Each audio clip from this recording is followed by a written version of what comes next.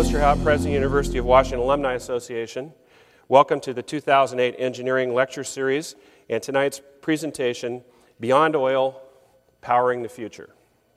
This evening's lecture is particularly timely as it continues to be a hotly debated topic on the national scene, especially in this election.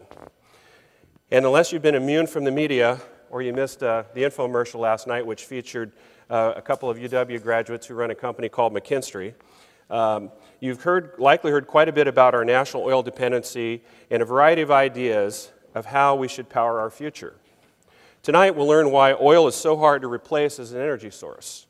We'll also hear in depth about emerging technology to convert plant matter to transportation biofuel developed by one of our Northwest companies, Weyerhaeuser.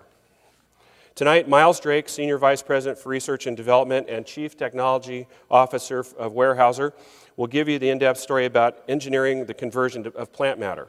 Joining him for our presentation is our own Daniel Schwartz, the Boeing Sutter Professor of Chemical Engineering and Associate Dean for Research. So, with that, gentlemen, thank you and thank you for coming.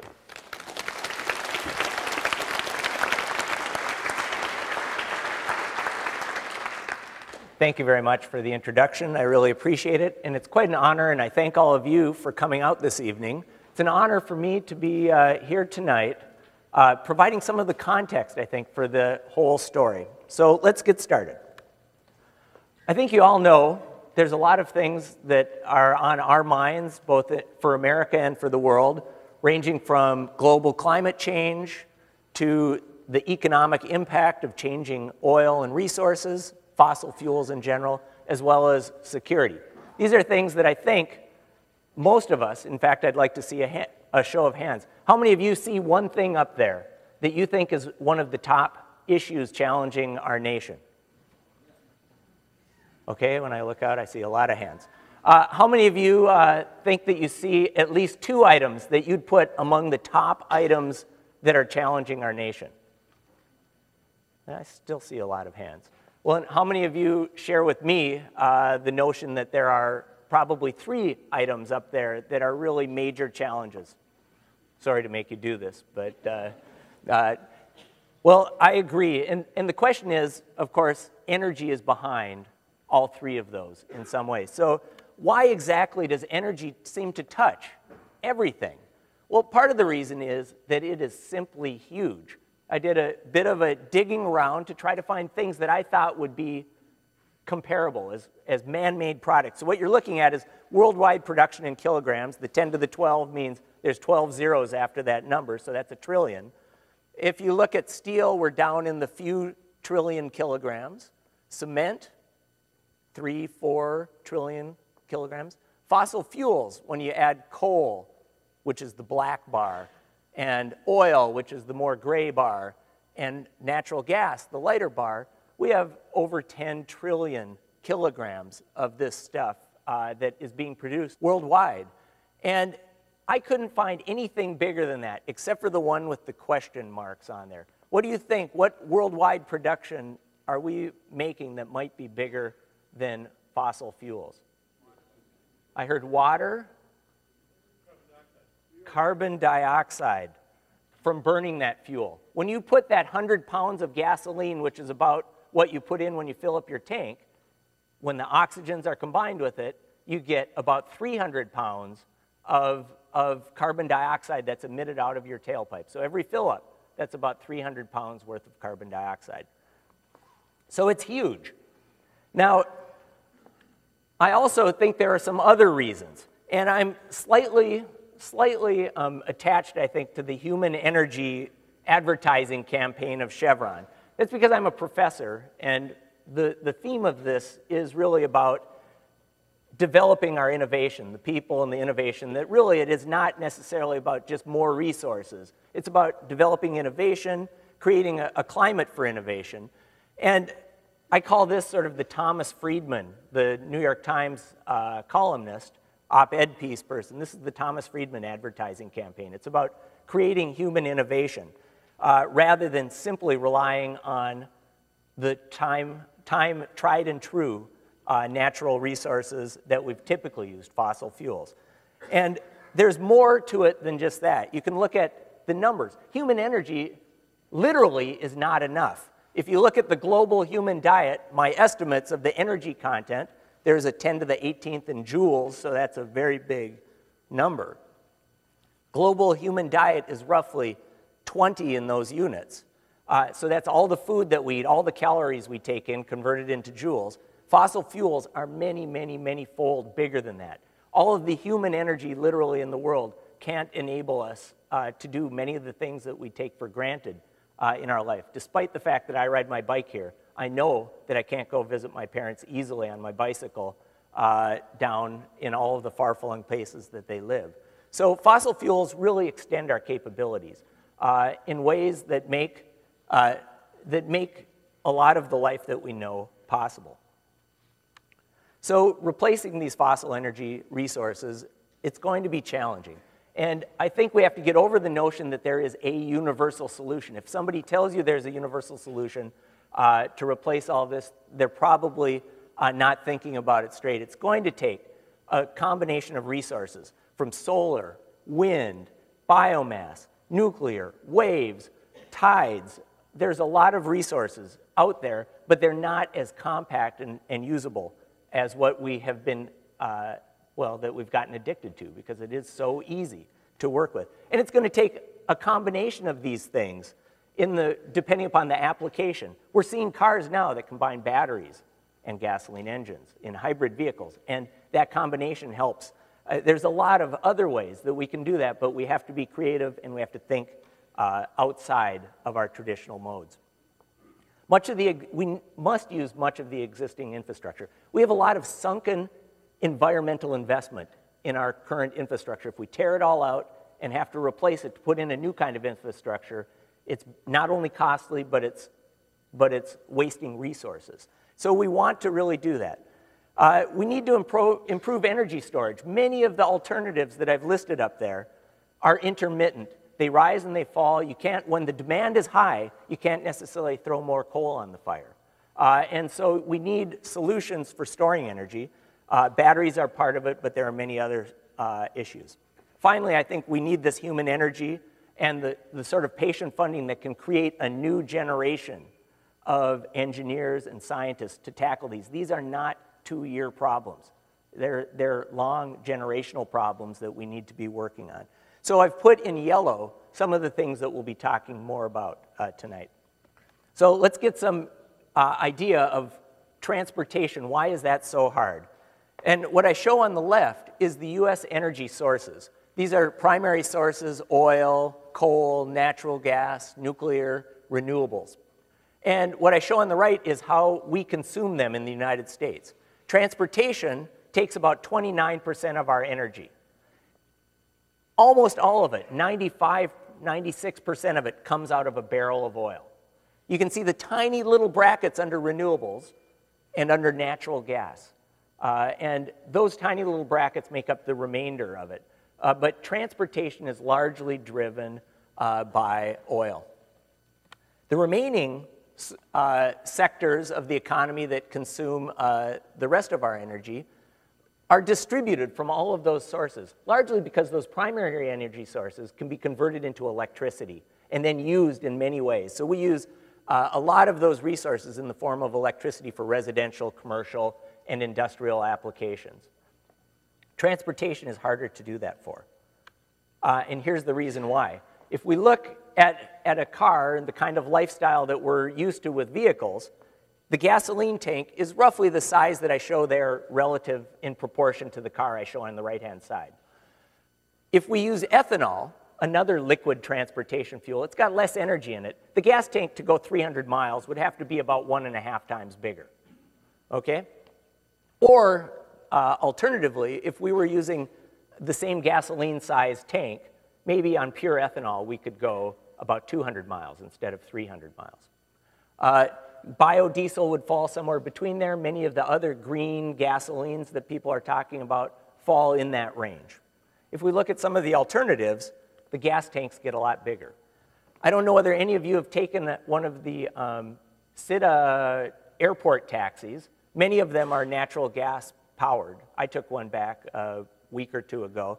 And you can only put one big bag in their trunk because most of the trunk is taken up with a compressed uh, natural gas cylinder. So that's what CNG stands for, compressed natural gas. And if it's compressed at about 3,000 pounds, which my taxi driver told me was what he gets on a bad day, if there's a lot of people pumping from the station, 3,600 is typical uh, on a good day, it, the gas tank has to be about four times as big to go the 300 miles that a typical car would want to go. Uh, hydrogen, if you run it at 5,000 pounds per square inch, is about 10 times the, the size. So now we're talking about a hydrogen tank that not just takes most of my uh, pass, or of my um, trunk space, but is also starting to encroach a little bit on my uh, passenger space as well. Finally, unfortunately, when we look at the best lithium batteries that are out there from the American Battery Consortium, which is a big, major uh, US effort to try and create better batteries, the energy density of those is just not high enough to be a, a replacement. Now, when combined with some of these other alternatives, batteries can provide just the right kind of power for certain applications, and we, can, we know from hybrid vehicles, by combining again and doing some more sophisticated engineering, we can get twice the mileage in a, in a vehicle that has a hybrid power source than in just a single one. But the advanced lithium batteries, you can see at 30 times the volume of a gasoline tank, pretty much the car is a vehicle for taking the battery if it wants to go 300 miles. And so the Chevy Volt that is being worked on so feverishly by GM, uh, they are trying like the Dickens to go 40 miles on a charge before they have to change. But you can see from this that the current batteries are taking you, if it was the same volume as a gas tank, would take you about 10 miles. Uh, and so there's a lot of challenges uh, in in this realm. But things can be combined, things can be uh, made much more efficient. Uh, and I would also add that the hydrogen numbers that I have here are for if we burn it. You can burn hydrogen just like you can burn compressed natural gas. If you put it into a fuel cell, you double the efficiency. Now, now the volume goes down. If you increase the, the compression to 10,000 pounds per square inch, you decrease the volume a little bit. And so there are things you can do, but it's still very challenging, and compressing gases to high pressures takes energy. So, all right, so the talks are called Inspired by Nature. So the question is, where did this fuel that we're having such a, a challenge replacing, how was it made? Well, it was made from biomass, from algae and other plant matter that, that settled in the oceans, that settled on the land, got covered up, heat from the earth warmed it. They had high pressures, low oxygen pressure because it was all buried. All of these things with time, and lots of time, converted it from biomass, this highly oxygenated molecule that is not such high energy density, to the fuels that we uh, are familiar with. If it was a little hotter, it might have been natural gas.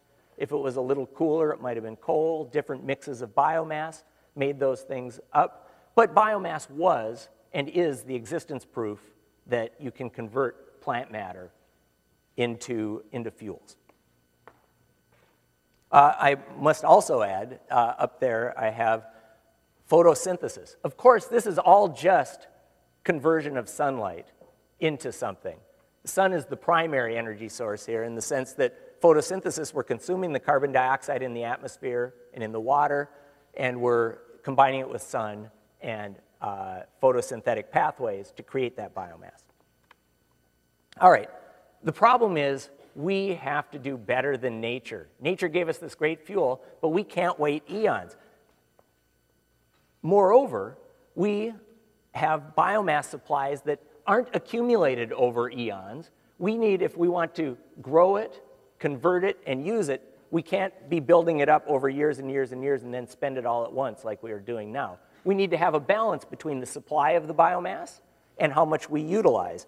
So there was a Department of Energy and USDA study suggesting that there was about a trillion kilograms of sustainably harvestable biomass, not changing anything, not adding any roads to the forest, not changing any of our farm practices, any of our, uh, any of our practices really, other than collecting mostly agricultural and forest uh, residues that are now oftentimes literally burned or left to rot and convert into CO2 anyway.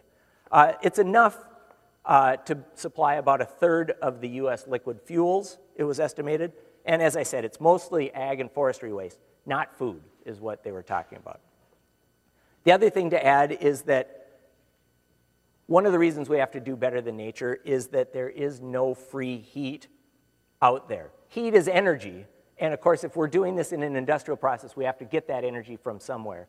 Uh, and so that means we're going to consume part of our resource making that heat.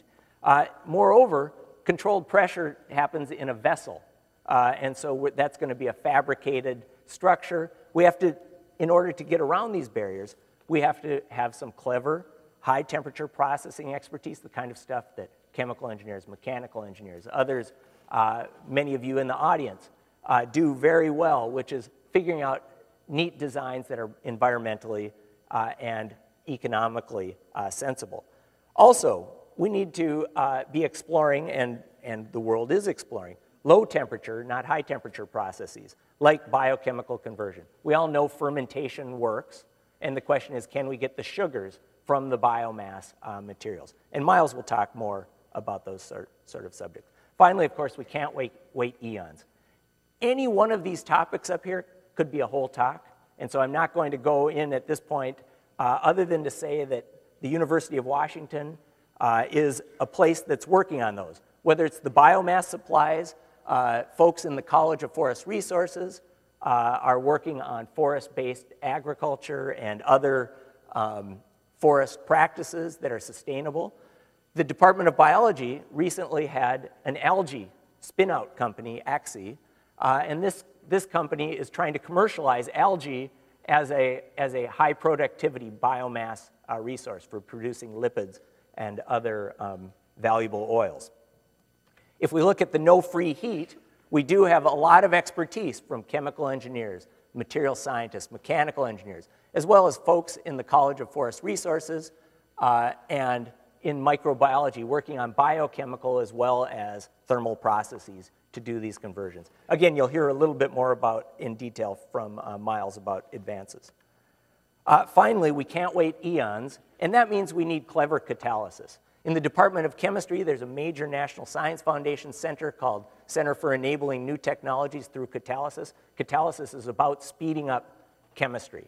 Uh, there's also great work going on in the Department of Biochemistry, Chemical Engineering, uh, as well as others that maybe I've forgotten, and I apologize uh, if I did, that uh, are doing this to help us do better uh, than nature in, in this regard. Finally, human energy. Uh, this is a program at the University of Washington that is trying to create this new kind of human energy, the kind that can balance uh, community resources and, and development needs with some of the resource management issues, molecular processing science and technology, and systems design by putting together teams, interdisciplinary teams of engineers, forest resources, natural resources people, all the way around that circle of different needs uh, to try and have balanced societal impact, environmental impact, and economic impact. We're doing this in collaboration with some of the Native American communities in the Pacific Northwest who have specific energy resources and needs for their communities, and we're trying to, again, work with specific uh, groups of folks to try and address specific community needs in this way that we, we balance different resources that are available with different community needs. Uh, this program is going to train about 30 new uh, energy PhD students in, in the University of Washington alone. A PhD student to go from beginning to end costs about $200,000. So this is a major, major resource in engineering to su support them with the research, the um, the research, the stipend so that they can afford to do the work, the laboratory space. Uh, this is all resource that goes into this team effort uh, to create that.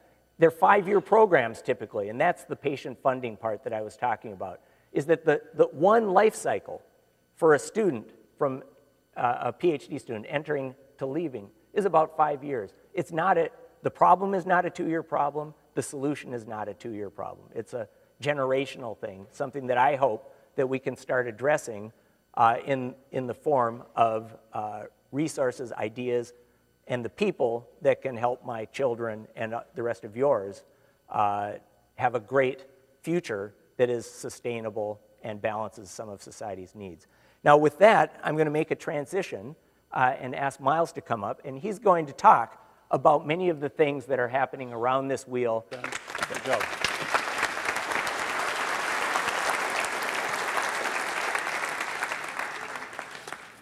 Well, thanks, Dan. I do believe I've got a story here that really builds on what Dan says and illustrates how it's science and technological innovation, which has got to be coupled with the right business models and, and business innovation, to can actually lead to opportunities for clean, secure, sustainable energy and materials using US human and natural resources. And Dan set the scene very well, and I think uh, it's very clear that solving these problems is going to be a, uh, a multi-pronged approach. There is no one magic bullet, and I'm not coming here with a magic bullet that uh, biomass solves everything. I'm coming here really with a, an approach which I believe is one element of uh, the future solution. Essentially, we've been going through a major transformation in the past, past few years. You may have heard about some of the uh, big changes in our business. And now, really, Weyerhaeuser's focused on uh, our forest resources. We're, we have positioned ourselves as uh, owners and managers of high yield, sustainable forests from which we can harvest and use a, a uh, sustainable resource. Things like wood for home building, uh, pulp for a wide range of products, and actually, locally, you may have seen we've got a number of businesses uh, around the nation in home building. Locally, it's uh, Quadrant Homes. Now, in the US, Weyerhaeuser has become unique, actually, in terms of the uh, breadth of our manufacturing, our research, and our research capability in, in general. And, and the, this, I believe this positions us to play an increasing role in bringing energy and sustainable materials solutions to the world. And I want to talk about some of the challenges in doing this. This is not easy. Whatever you hear with uh, little news briefs, uh, this is a tough challenge, and uh, we're working on it. And I'd like to sort of talk about these challenges and show how we're looking at creating essentially a, a new leg for the business, a future part of our business based around this big uh, uh, opportunity and challenge. So I talked about challenges. What are the major challenges of converting biomass to fuel?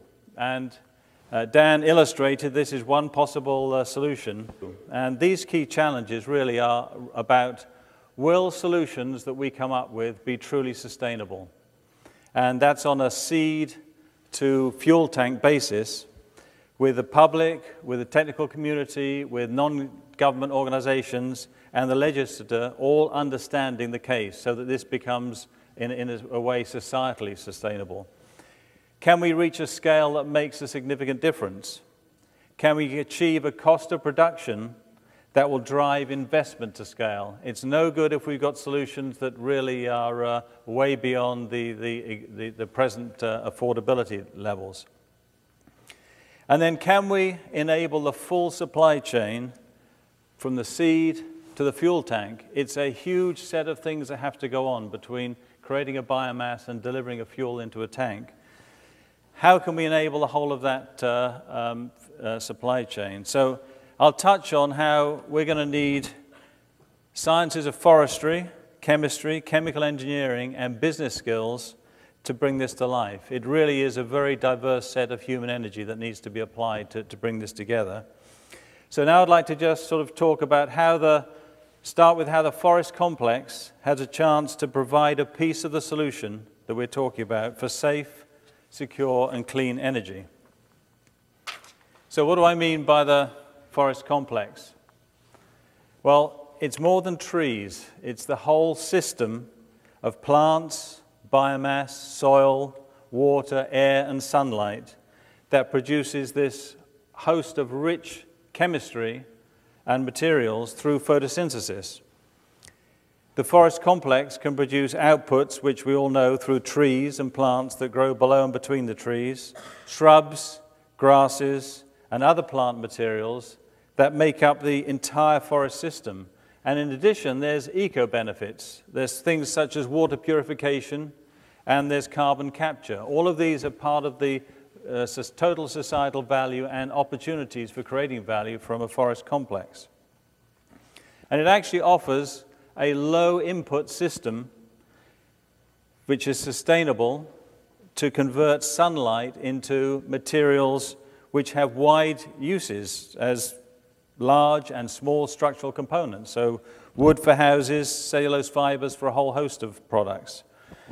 Now, all the materials I'm talking about, all these materials, are not just structural materials, they actually are storing energy from sunlight inherently in terms of their chemistry. And that can be released later and used, transported and released and used in, uh, in all sorts of ways. So you can create pellets that can be used for home heating and for power generation, or you can go through processing to make ethanol or biodiesel for transportation fuels. So it's a very significant and uh, uh, diverse sort of resource. So, what I'm saying is think of biomass, and Dan touched on this think of biomass as a way to store solar energy in a material form. And in the case of living biomass, it's storing energy in a, in a form that can be renewed constantly. So, photosynthesis is the key process from which plants lock up sunlight in the form of sugars. Now, the sugars, in turn, can be combined in the plant to make cellulose, and the plant actually makes a whole set of other materials. For example, it makes lignin, uh, from the Latin to bind, that glues the plant or tree together, and hence you get the term lignocellulosics, which I'll, I'll use a little later. And for sustainable biomass use, we need to replenish the biomass as fast as we're going to use it, otherwise, it won't be sustainable. In other words, you've got to grow as much as you're consuming. So you've now got to have a whole system which grows biomass, converts it, uses it, and at the same time is growing the same amount again. It's, a, it's got to be completely sustainable. What I'm showing here is the huge exchange of carbon, which is shown on the left here, between the atmosphere and water, and between the atmosphere and the biomass on the land. And you'll see that that, that exchange comes out to be something like 200 billion tons of matter going in and out. The picture also illustrates that when you look at this natural system here on the left, that in actual fact, there's as much being emitted as absorbed. The whole thing is in, in more or less close to equilibrium and emits as much CO2 as, as it absorbs. And if you look at studies of a, uh, a, a, a long lived forest starting from scratch and growing to be a, an ancient forest, then over the order of 100 years or so, the forest stops to sequester carbon dioxide or, uh, in, into it, and it starts to just become imbalanced. It, it, it, creates a load of biomass, and then it, it essentially stops because as much is coming off as is being, being grown. Now, on the right, we show the other side of it, which is sort of the, the human, human-driven emission of carbon uh, into, the, into the system th- through the air. And that adds up to about 25 billion tons of uh, new carbon uh, per year. Now, the grand challenge is to put all of this system back into equilibrium. And that is the really big challenge that, that Dan posed at the start. And that means you've got to either look at the right side, you've got to decrease emissions on the right, you've got to reduce the amount that's uh, coming out, which essentially comes down to uh, taking less out of that fossil fuel pot and burning it and putting it into the air. You've got to reduce this by uh, efficiency means and uh, uh, being more intelligent use of this, or just simply using less. Or you can work as well on this side, and can you increase the rate that we're uh, actually sequestering uh, carbon through the natural system? Or can you use this in some way to displace some of the fossil fuels so that you can still sustain your quality of life? In fact, this is pretty important that if you think about the world today, there's a billions of people who want to improve their quality of life, and the simple solution is to do more of the uh, oil going up into the oil and coal up into the air. It's not sustainable in any sense. We've got to find ways that you can actually have a sustainable, growing quality of life and at the same time balance this, this whole system. So I want to step down a, a notch to look at the uh, from the total biosphere to look at present day forest resources. And what I show here is a, is a comparison. It's like, rather like Dan's comparison. And I want to give you an impression of the scale of the global forest resource today. And today, the world extracts about, as you can see, 4.6 billion cubic meters of oil.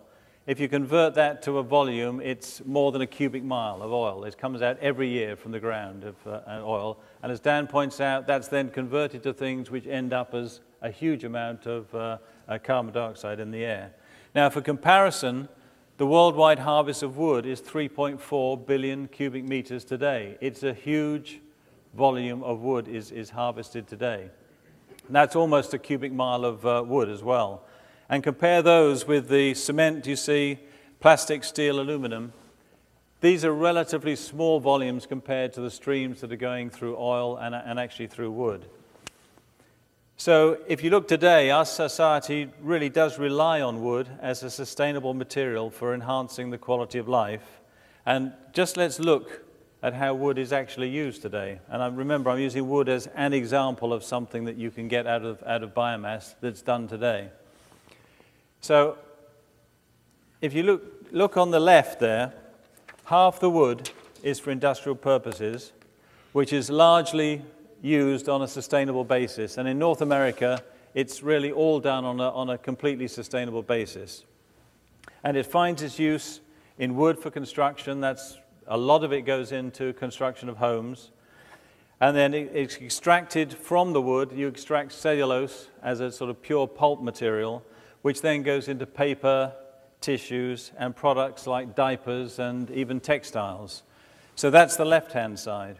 Very little is wasted of the industrial uh, harvest. Saw residues from making saw lumber are uh, either converted to energy or they actually might be used, recompressed and used as particle board, other things. Every, every part of it is used.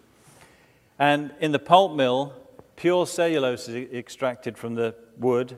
The rest of the tree, the, what's called hemicellulose, the lignin, and any other component, is actually used to either power the process and sometimes even to generate excess power from a mill. So a mill sort of consumes all of it, its needs from the, uh, the biomass and then maybe exports uh, electrical power as well.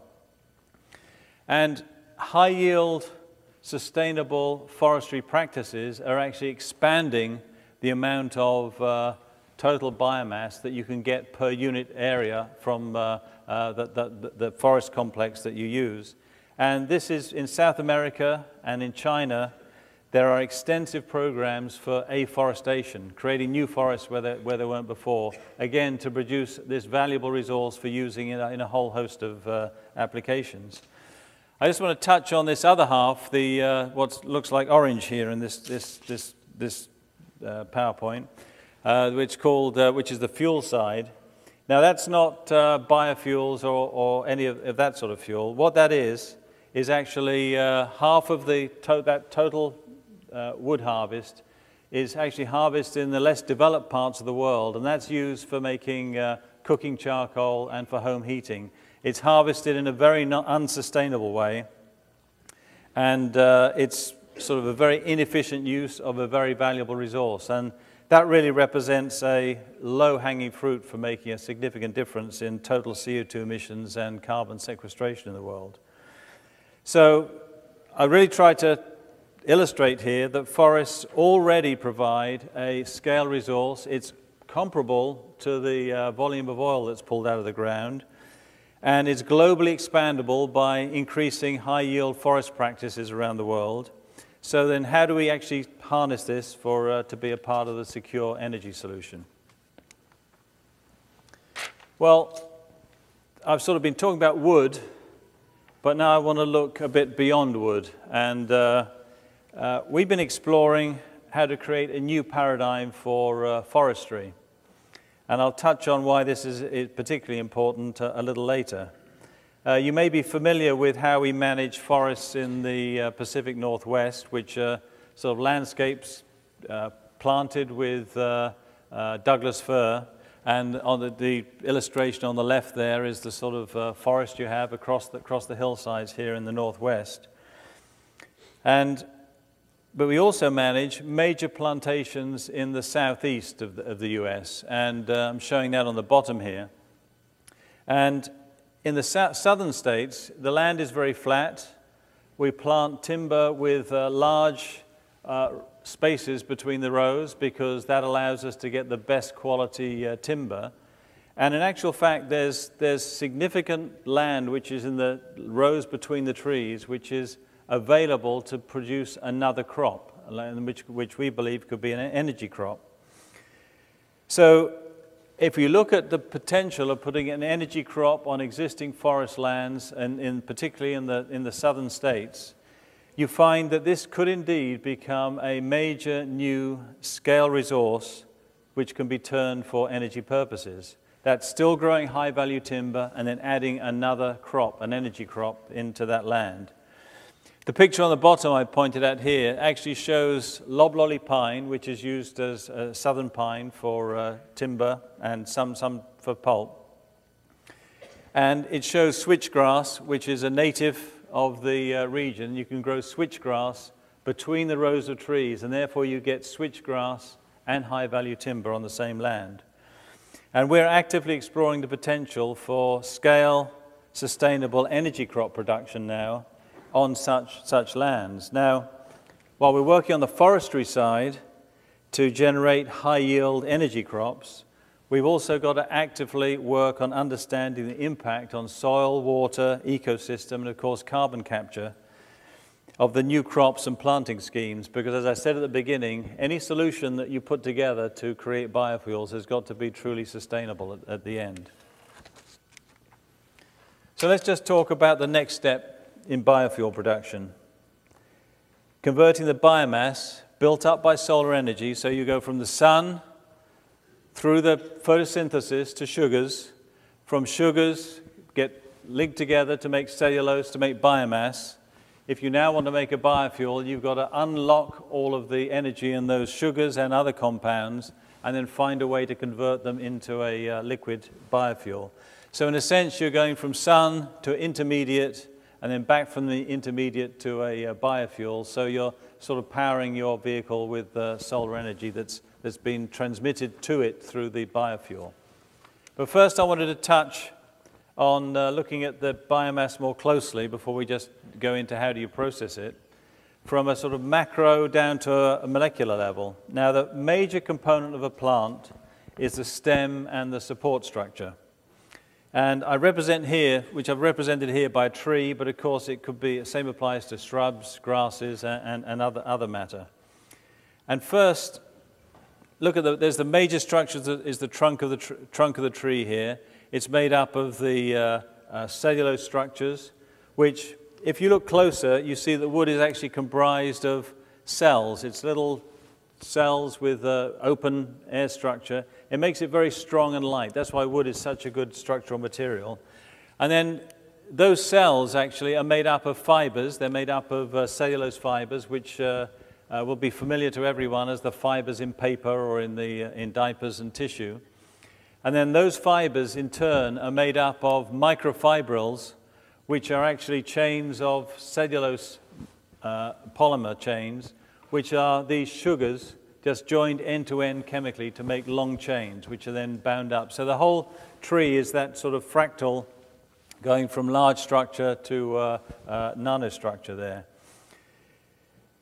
And the cellulose and fibers and the, the cells are actually all held together by the lignin I talked about, the glue, is actually fixes all this stuff together to make the whole structure to be very rigid and uh, stable. And indeed, there's also mixed up in that some other, other sugars and things called hemicellulose, which eventually make the whole structure. So typical biomass is composed of the fibers of cellulose, which is 40 to 50%, sugars, 15 to 25%, and then held together by lignin, which makes another 15 or 30%. Now, this is the material that we already use, and we've, we've seen how we use the macro properties in structural elements in homes and uh, paper and cardboard and adsorbents. What's yet to really be developed is how do you unlock the materials within that uh, uh, lignocellulose mass to be able to replace a part of the petroleum stream for transportation use. And this is not a new idea. There's been a lot of people working on this for a long time. But it's in the new economic and public policy environment that there have become compelling drivers to actually protect and develop the forest complex that I talked about to actually get to sustainable fuel use. So, how do we take a biomass and transform it into fuel and feedstocks? Well, at the high level, we simply grow biomass, which in principle can be anything from a forest resource, agricultural waste, crops, that sort of thing, and then convert it, as Dan pointed out, through heat or chemistry or biological action into some usable product. We actually have a great starting point already in the, the fact that we have a, the forest products industry already has the skills to plant, grow, and harvest massive quantities of biomass. And for example, a pulp mill today probably transforms maybe a million tons a year of biomass. And it does that a, through a complex set of processes that end up with a sort of consistent, reliable product at the end, recycles all of the intermediates and any other uh, infeeds that are used in the pulp mill. So it's possible already to process million ton quantities a year in a single mill of uh, biomass. So when you think about is it possible to take biomass and go through chemical transformations to make a, a liquid transportation fuel, for example, then there's already a lot of the um, competence in handling and uh, transforming to do this. So if you look at that, then the next step to go to how do we actually make biofuels, it's sort of the next step is really getting the chemistry and chemical engineering right, and you should be able to do this. So we've got a lot of the things in place. And but the challenge of doing that is the one that Dan laid out, which is making fuels from biomass took originally maybe uh, millions of years of heat and pressure. The challenge is how do we actually do that in hours or minutes rather than uh, millions of years? And how do we make the conversion happen at a sufficiently low cost that it actually makes it economically attractive to do? And that, that is the big challenge. So I just want to look at a couple of the, the ways to do that. Uh, first, as Dan mentioned, the biochemical route. This is the low temperature. This is using nature's way to uh, uh, uh transform the, the lignocellulose.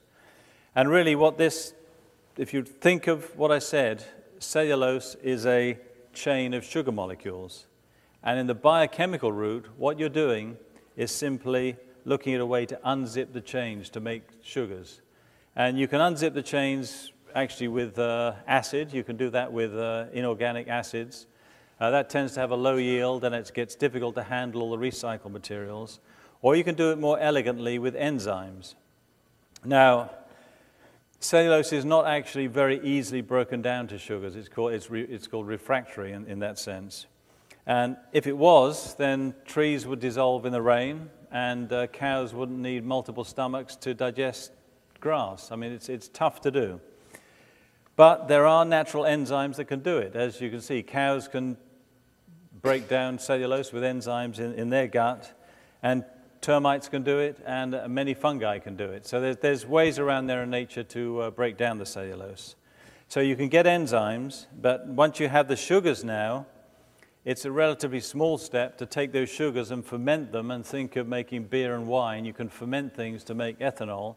So now you've gone from cellulose to ethanol, and that's uh, uh, cellulosic ethanol. But there are still big hurdles in that. How do you make the enzyme fast and cheap enough? How do you get the, the right energy balance so that you can distill the alcohol out of the water to get uh, a high octane uh, uh, ethanol? And actually, the step one here, which is the uh, one like in the cookbook of uh, if you want to make uh, your Christmas turkey, is first catch the turkey. This one here is pre treatment. You've got to take a biomass, you've got to chew it up, you've got to get it in a in prepared form such that you can do that what's called hydrolysis, breaking down the cellulose into sugars. These are all big challenges. And uh, we're actually, there's work around the world going at solving all of the uh, steps in, in these challenges. These are big challenges, but there's, there's a lot of work going on, on on them. And there's small demonstration plants springing up around the, the US to show pieces of the puzzle being uh, solved here. But I've talked about really how do you get cellulosic ethanol here, but let, let me just address, use this as a moment to address some of the fundamental issues of uh, producing biofuels from uh, cellulose. And I think everybody here was probably heard about the uh, food for fuel controversy and the challenges to sustainability of corn ethanol. Uh, and actually, the DOE, who's a big funding source for producing corn ethanol and then for the downstream technologies, has been very clear that they saw corn ethanol as a bridging technology. It put some infrastructure in place. It taught us a lot of things about how to do bi biomass processing. But they also saw that the end game was uh, cellulosic uh, ethanol. This, this would be the, the real uh, goal of the, of the program. So corn ethanol is seen as a, as a transition. And, and, this slide illustrates one of the reasons why that, that is a, uh, a correct view, if you like, of that, that, uh, uh, that program. Because what I'm showing here is the ratio of the, in effect, the amount of equivalent uh, liquid fuel that you can get out of a given source if you put in one gallon of uh, liquid fuel to, to do the processing. So if you take electricity, that means if you take the equivalent of a gallon of uh, fuel, make power, transmit it, and then use it, in actual fact, you're getting about half of it back because of the generation losses, the transmission losses, and then the, the use losses. If you take gasoline, then to deliver gasoline to, to your, your automobile, to your fuel tank, it takes more than a gallon of gasoline to get it there. You, you have to take a ga gallon out, you have to use some more, so you get a, a factor of about 0.8. Uh, when you look at corn ethanol, there is actually a gain. If you take, uh, look, look at the amount of energy required to generate corn ethanol in terms of fossil fuels, then you do need a significant amount of energy to plow the fields, to fertilize, to harvest, and to get move things around. But in the end, you do actually get a gain of about, it's somewhere around 1.3. There's, there's argument about exactly what that is. So it's a small gain. So it's not a huge solution in terms of solving uh, where do you get uh, new liquid transportation fuels, but it, but it is a gain. If you look at what you can get if you solve the problems around uh, uh cellulosic ethanol, then the gain becomes 10 to 1 because you're, you're dealing with a, a, much bigger fraction of the biomass you've grown. You're being much more efficient in how you use the solar energy and the land to get that mass. And therefore, you can now get a much higher uh, return per unit of fossil fuel you put in. So 10 to 1 is now meaning that you really are making a significant difference in the whole uh, supply chain of, of that energy. And when you use the cellulosic ethanol, particularly in the way I, I highlighted, if you start to use uh, um, plantation forest lands to grow the cellulosic material that you're going to transform, you now not only avoid the food for fuel debate, but you avoid the other thing that's arising, is where it's argued that if you use agricultural land to grow uh, a fuel, then somewhere in the world, someone is going to cut down forest to create agricultural land to be able to be fed because in the end, food is going to come first in the world. So if that logic really does play out, then it turns out that although you get a small gain in with uh, cellulosic ethanol, you get a huge loss with the unintended consequence of cutting down forests somewhere to grow some more, more fuel because now you have a huge negative CO2 imbalance with, with doing that. So I'll just touch on one more way of uh, uh, potentially converting biomass into uh, a, liquid fuel. And this one is uh, called gasification. And in gasification, what you're doing is you're partially burning biomass in the presence of additional water to make carbon monoxide and hydrogen. That's called syngas. And think of how uh, a gas stove or a uh, gas heater can produce carbon monoxide when it's poorly ventilated. Well, what you're doing here is you're sort of burning biomass in a poorly ventilated state, which creates carbon monoxide. You've got water in there, which also creates uh, hydrogen. So you make this syngas, this it's, uh, carbon monoxide and hydrogen. And so you're deliberately burning in limited ventilation, and then you capture the carbon monoxide and hydrogen. Now, once you have this syngas, it's proven technology to take syngas, pass it over a catalyst, and you can convert that to, for example, a, a, directly to a low sulfur diesel, and you can actually make a whole host of compounds once you, once you have syngas. Uh, South Africa generated its gasoline by this process from coal, using coal and gasifying coal and going through that process during the period of the oil embargo. It's, it's a, it's a well proven uh, process. And gasification has the advantage that because you're, if you like, you're partially burning the biomass, you don't have to do lots of uh, preparing it for enzymes or bugs to eat it. You can take it more or less raw, and uh, almost anything can be burned. So almost anything can be, uh, that can be burnt can be gasified.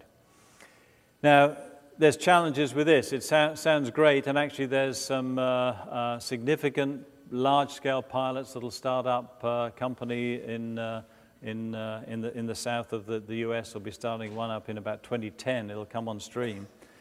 It's possible to do, but there are some big challenges when you really get to getting to scale and uh, viability long term because what happens is that to make this at the fully, at good eco economical uh, um, output, you have to have very large scale. And when you have very large scale to get capital efficiency, you then means you have to pull in biomass from a very large area, and you start to run into challenges of logistics and transportation of biomass to this, this huge plant that's going to make, uh, would, would make uh, biodiesel or, or fuel. So there's challenges there. The other challenge is that you're actually, it's inefficient in terms of the biomass because you throw away a significant amount in, as uh, carbon dioxide as you're doing that partial burning.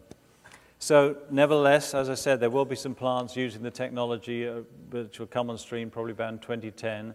And these will be demonstrations. These are partly funded by the DOE, but it, it's starting to prove, prove some of the technology. So there are still major technology challenges. And uh, I mentioned at the start that there was also a, a, challenge of infrastructure, getting the whole infrastructure, end-to-end infrastructure.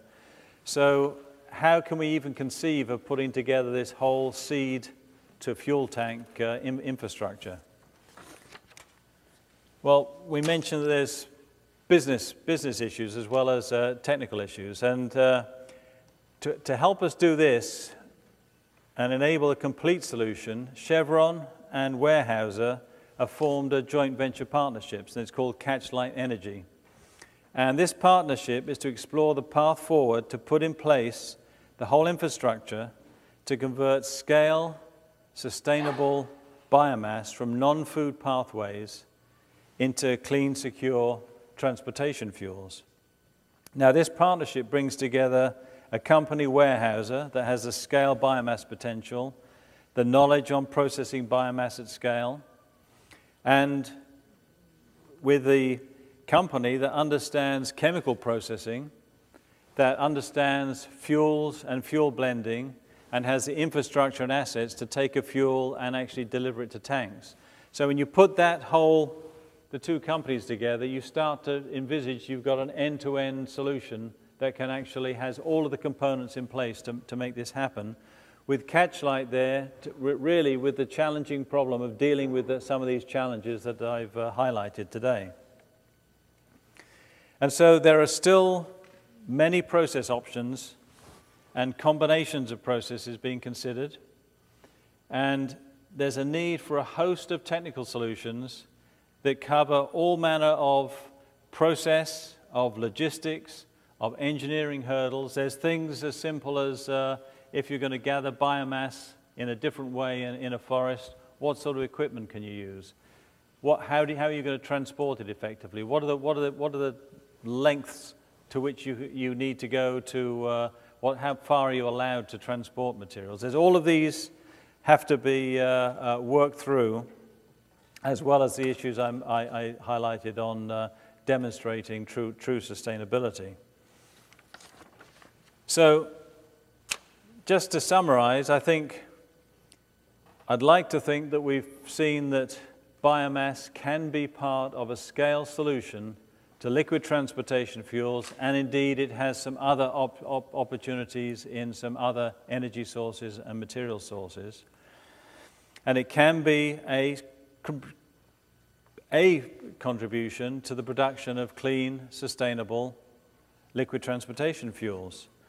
Now, there's still a whole set of challenges, and we're working on somewhere in the world, someone is working on all of these, and it's our goal to be a synthesizer and bring the solutions from uh, all of these uh, uh, solutions from, from around the world to make this happen.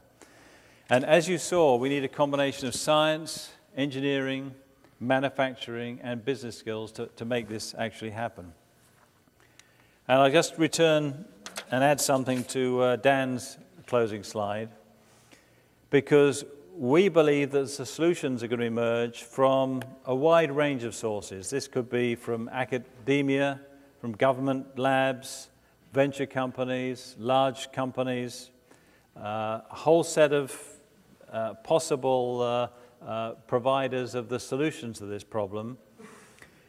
And the time scale to full scale realization is such that to Dan's point, we do need, in the center part that Dan talked about, we do need to be developing the base science and the human talent that can come out and help solve these problems. And that's one of the roles that a, a university can play.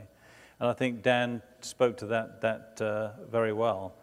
At the same time, we need this whole ecology of companies government agencies, venture investment, and actually, we need nature as well to realize the potential there is here to, to bring forward a solution. And if you think about it, the, the prizes are big. The prizes are huge in this case to uh, uh, come up with solutions. And incentives, both economic and social, are also huge. But it's going to be through very broad collaboration that this particular piece of the energy future will be brought into being. But if we're successful, the world will have another tool in a, the sustainability toolbox to provide safe, secure, clean energy to support an increasing global quality of life. And thank you. I'll stop there. Thanks.